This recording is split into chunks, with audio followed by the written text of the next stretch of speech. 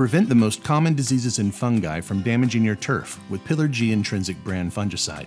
Combining the active ingredients and varying modes of action of Insignia fungicide and Trinity fungicide, Pillar G is formulated to be used on residential and commercial lawns, golf courses, sporting fields, and in parks. This broad spectrum granular fungicide prevents and helps control over 20 common turf diseases and fungi, including anthracnose, brown patch, dollar spot, fairy ring, snow mold, leaf spot, melting out, powdery mildew, blight, rust, summer patch, and more. Pillar G provides benefits to turf it is treated on, improving the health of the turf and increasing resistance to drought and moisture, plus enlarging root mass and length. It can be used on a variety of warm and cool season grasses, including bentgrass, Bermuda, Kentucky, and annual bluegrass, centipede, fescue, ryegrass, St. Augustine, and zoysia turfs. Check the product label to determine if your turf type is compatible with this product. Pillar G is designed as a preventative fungicide. Use a granular spreader to apply Pillar G granules evenly throughout your lawn.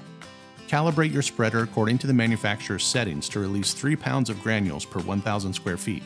Walk evenly back and forth across your lawn in even rows, sweeping any granules that land on the sidewalk or driveway back into the lawn.